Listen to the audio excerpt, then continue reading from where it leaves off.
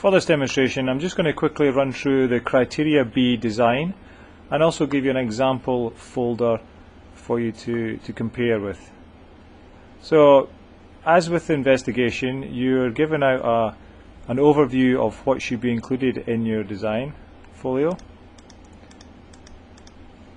This includes a cover page with your name and Criteria B design this time the next thing is the thumbnails. Now remember a thumbnail is approximately an A6 size drawing. Um, you can do between 8 and 6 of them and things should include um, sizes or dimensions, materials used or the main parts. And these should be different designs, not one design simply coloured in differently. After the thumbnails you move on to doing choosing four of these thumbnails and making concepts. A concept design should be A4 size, so you would need four separate pieces of paper. Um, these should include the three views, so that's the front, the side and the top view, and if you can, a three-dimensional view of your uh, design. Other things to note would be eh, more to do with specific colours or functions and overall dimensions. You're starting to get down to the individual dimensions of parts or individual dimensions of the overall pieces of their carriage. You should also try and include some more shading and possibly textures to make your design as realistic as you can. After that, the last part of the design folio is to choose one of the concepts to become your, your final design. If I look at the example folio, you can see there's my cover page with my name, my class, thumbnails. Uh, these are um, these ones have been scanned from the original drawings but the idea is there. So there's my concept, or my thumbnail, sorry. Again, about A6 size. It's got some annotations on there. It's got some overall dimensions. It's got some colours and some shading work, similar to this one. So I leave some space there. The second page is space for some more. Page 3 is page for some more thumbnails. I then go on to my concept designs. The concept designs this time, I'm using that same thumbnail sketch, but my concept design is a lot more detailed.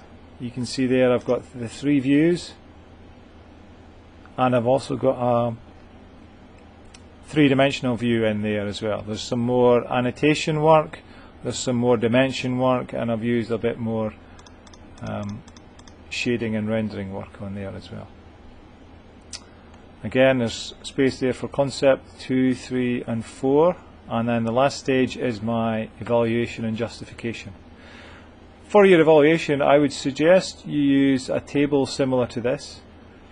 The design specs or design specifications are the same ones from your investigation. So all you would do is copy and paste your design specs into here. I've made up a testing criteria, so I've given myself a star rating, um, going from 1 to 5, and then my concepts go down the left hand column there. This means that for this concept here, for example, I would judge this concept against my criteria from the investigation.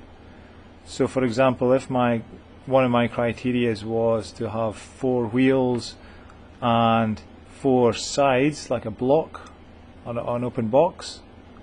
I could come down give that a grade. Obviously that's quite good. Maybe not excellent but it is very good so give it maybe four stars in there. Work on to the next design spec and so on. Eventually I would get a total out of 30 because there's five of five marks for each of the six design specs, so it's out of 30, and then I would do that for the same four concepts. After I do that, I can write a small justification. This is just a short two, possibly three sentences of why you have chosen, which idea you've chosen, and why. Now, although you get a, a mark here,